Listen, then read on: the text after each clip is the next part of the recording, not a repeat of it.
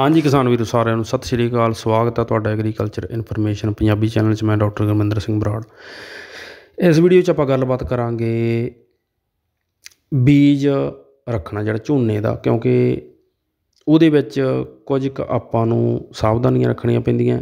ਤੇ ਬੀਜ ਜਿਹੜਾ ਰੱਖਣਾ ਕਿਉਂ ਆ, ਕਾਰਨ ਕੀ ਆ ਤੇ ਕਿਸ ਤਰ੍ਹਾਂ ਉਹਨੂੰ ਆਪਾਂ ਜਿਹੜਾ ਹੈਗਾ ਰੱਖਣਾ। ਕਿਉਂਕਿ ਆਮ ਤੌਰ ਤੇ ਆਪਾਂ ਕਈ ਵਾਰ ਕੀ ਹੁੰਦਾ ਕਿ ਕਮੈਨ ਦੀ ਵਾਢੀ ਨਾਲ ਜਿਹੜੀ ਵਾਢੀ ਕੀਤੀ ਝੋਨੇ ਦੀ, ਉਹ ਆਪਾਂ ਟਰਾਲੀ 'ਚੋਂ ਜਾਂ ਮੰਡੀ 'ਚੋਂ ਜਾਂ ਢੇਰੀ 'ਚੋਂ ਭਰ ਲੈਂਦੇ ਵੀ ਉਹ ਬਿਲਕੁਲ ਗਲਤ ਤਰੀਕਾ।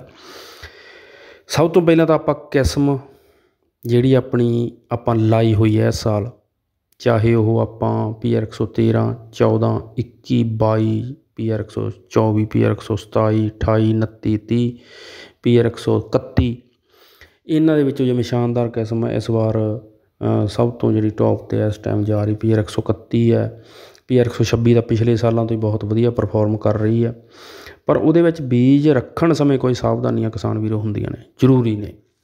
ਹਾਈਬ੍ਰਿਡ ਦਾ ਬੀਜ ਆਪਾਂ ਨਹੀਂ ਰੱਖ ਸਕਦੇ। ਹਾਈਬ੍ਰਿਡ ਦਾ ਬੀਜ ਆਪਾਂ ਘਰ ਦਾ ਆਪਣਾ ਨਹੀਂ ਰੱਖ ਸਕਦੇ। ਉਹਦੇ ਬਾਰੇ ਵੱਖਰੀ ਜਾਣਕਾਰੀ ਸਾਂਝੀ ਕਰ ਦਿਆਂਗੇ। ਜੇ ਕਿਸਾਨ ਵੀਰਾਂ ਦਾ ਕੋਈ ਸਵਾਲ ਆਊਗਾ, ਕਿਉਂ ਨਹੀਂ ਰੱਖ ਸਕਦੇ?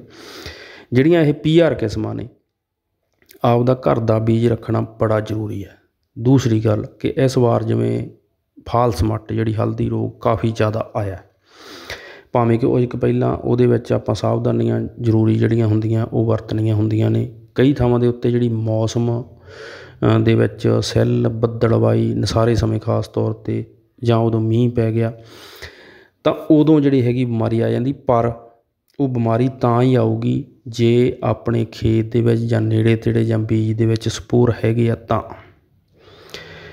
ਜਿਹੜੇ ਹੁਣ ਜਿਵੇਂ ਫਰਜ਼ ਕਰ ਲਓ ਕਿ ਤੁਹਾਡੇ ਕਿਸੇ ਖੇਤ 'ਚ ਰੋਗ ਆ ਗਿਆ ਉਹਦੇ ਸਕਲੈਰੋਸ਼ੀਆ ਜਿਹੜੇ ਜ਼ਮੀਨ 'ਚ ਡਿੱਗ ਪਏ ਜਿਵੇਂ ਗਡੋਲੀਆਂ ਜਿਹੜੀਆਂ ਬਣੀਆਂ, ਉਹ ਖੇਤ ਦੇ ਵਿੱਚ ਡਿੱਗ ਪਈਆਂ।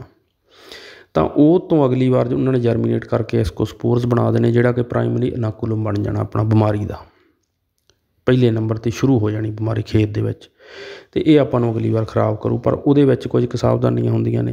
ਇੱਕ ਤਾਂ ਬੀਜ ਰੱਖਣ ਵਾਸਤੇ ਤੁਸੀਂ ਰੋਗੀ ਬੂਟੇ ਖੇਤ 'ਚੋਂ, ਚਾਹੇ ਇੱਕ ਬੂਟਾ ਵੀ ਹੋਵੇ, ਬੜੇ ਸਾਵਧਾਨੀ ਦੇ ਨਾਲ ਆਪਾਂ ਬੂਟੇ ਚੁਣਨੇ, ਜਿਹ 'ਚੋਂ ਆਪਾਂ ਬੀਜ ਰੱਖਣਾ।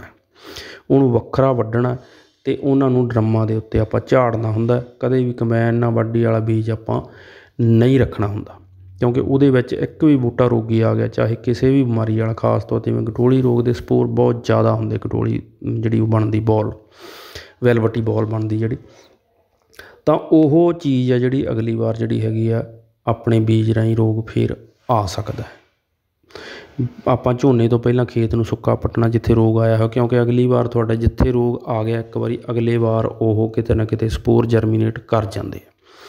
ਉਹਦੇ ਵਿੱਚ ਆਪਾਂ ਖੇਤ ਨੂੰ ਸੁੱਕਾ ਪੱਟਣਾ, ਝੋਨੇ ਦੀ ਲਵਾਈ ਤੋਂ ਪਹਿਲਾਂ ਬੀਜ ਦੀ ਸੋਧ ਕਰਨੀ, ਫੇਰ ਜਿਹੜਾ ਹੈਗਾ ਆਪਾਂ ਨੂੰ ਗੋਭ ਟਾਈਮ ਅਤੇ ਮਿਲਕ ਸਟੇਜ ਤੇ ਜਾ ਕੇ ਜ਼ਰੂਰੀ ਜਿਹੜੀ ਹੈਗੀ ਆ ਆਪਾਂ ਨੂੰ ਕੋਪਰ ਹਾਈਡਰੋਕਸਾਈਡ ਜਿਹੜੀ ਕੋਸਾਈਡ ਆ ਜਾਂ ਆਪਾਂ ਹੋਰ ਉੱਲੀਨਾਸ਼ਕ ਨੇ ਜਿਹੜੇ ਰეკਮੈਂਡਡ ਜਿਹਦੇ ਵਿੱਚ ਖਾਸ ਤੌਰ ਤੇ ਪ੍ਰੋਪੀ ਆਪਣੀ ਪਕੌਕਸੀਸਟੋਬਨ ਪਲੱਸ ਪ੍ਰੋਪੀਕੋਨਾਜੋਲ ਟੈਕਨੀਕਲ ਗਲੀਲੀਓ ਵਗੈਰਾ ਇਹ ਵਰਤ ਸਕਦੇ, ਪਰ ਮਿਲਕੀ ਸਟੇਜ ਤੇ ਆਪਾਂ ਨੂੰ ਜਿਹੜੇ ਖੇਤ 'ਚ ਤੁਹਾਡੇ ਹੈਗਾ ਨਾ, ਉੱਥੇ ਤੁਹਾਨੂੰ ਰਿਪੀਟ ਅਗਲੀ ਵਾਰ ਕਰਨੀ ਪੈ ਸਕਦੀ ਹੈ ਚਾਹੇ ਕਿ ਬ੍ਰੌਡ ਸਪੈਕਟਰਮ ਉੱਲੀਨਾਸ਼ਕ ਨੇ, ਹੋਰ ਬਿਮਾਰੀਆਂ ਤੇ ਵੀ ਕੰਮ ਕਰ ਜਾਂਦੇ, ਪਰ ਇਹ ਸਾਵਧਾਨੀ ਆਪਾਂ ਨੂੰ ਵਰਤਣੀ ਪਊ, ਹੁਣ ਧਿਆਨ ਰੱਖਿਓ।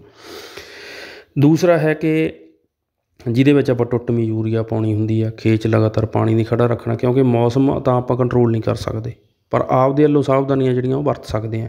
ਬੀਜ ਮੈਂ ਤਾਂ ਕਹਿੰਦਾ ਆਪਦਾ ਘਰ ਦਾ ਬੀਜ ਰੱਖਣ ਨੂੰ ਕਿ ਆਪਾਂ ਜਿਹੜੇ ਹੈਗੇ ਸ਼ੁੱਧ ਬੂਟੇ ਆਪਾਂ ਨੂੰ ਦਿਸਦੇ ਆ, ਆਪਾਂ ਆਪਦੀ ਹਾਜ਼ਰੀ ਦੇ ਵਿੱਚ ਬੂਟੇ ਜਿਹੜੇ ਹੈਗੇ ਆ ਉਹ ਖੁਦ ਵੱਢ ਕੇ ਜਾਂ ਵਢਾ ਕੇ ਉਹਨਾਂ ਨੂੰ ਉਹ 'ਚ ਸ਼ੁੱਧ ਬੀਜ ਜਿਹੜਾ ਚੁਣ ਸਕਦੇ ਹਾਂ ਰੋਗ ਰਹਿਤ। ਕਈ ਵਾਰ ਆਪਾਂ ਬੀਜ ਕਿਸੇ ਤੋਂ ਲੈ ਲੈਂਦੇ ਆ ਜਾਂ ਆਪਾਂ ਖੁੱਲ੍ਹਾ ਬੀਜ ਕਿਤੋਂ ਲੈ ਲੈਂਦੇ ਉਹਦੇ ਵਿੱਚ ਜਿਹੜਾ ਹੈਗਾ ਰੋਗੀ ਬੀਜ ਦੀ ਸਮੱਸਿਆ ਜਾਂ ਮਾੜੇ ਬੀਜ ਦੀ ਸਮੱਸਿਆ ਆ ਸਕਦੀ ਹੈ। ਜਾਂ ਫਿਰ ਆਪਾਂ ਜਿਹੜਾ ਹੈਗਾ ਜਿਵੇਂ ਸਰਟੀਫਾਈਡ ਬੀਜ ਪਿਓਰ ਬੀਜ ਉਹ ਲਈਏ, ਕਿਉਂਕਿ ਉਹ 'ਚ ਵੀ ਰੋਗਿੰਗ ਕੀਤੀ ਜਾਂਦੀ ਹੈ।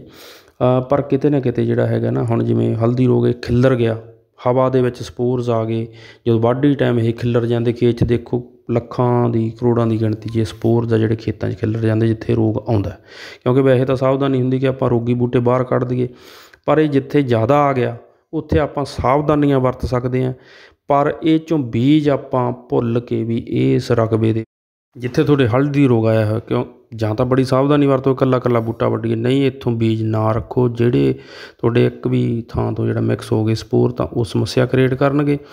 ਅਗਲੀ ਵਾਰ ਵਾਸਤੇ ਆਪਾਂ ਜਿਹੜੇ ਉਸ ਖੇਤ 'ਚ ਖਾਸ ਸਾਵਧਾਨੀਆਂ ਵਰਤਣੀਆਂ ਨੇ, ਜਿਹਦੇ ਵਿੱਚ ਯੂਰੀਆ ਜਾਂ ਟਾਈਮਲੀ ਸਪਰੇਅ ਹੈ, ਇਹ ਚੀਜ਼ਾਂ ਦਾ ਬੜਾ ਖਿਆਲ ਰੱਖਣਾ ਪਊਗਾ। ਬਹੁਤ ਬਹੁਤ ਧੰਨਵਾਦ, ਸ਼ੁਕਰੀਆ, ਮਿਹਰਬਾਨੀ।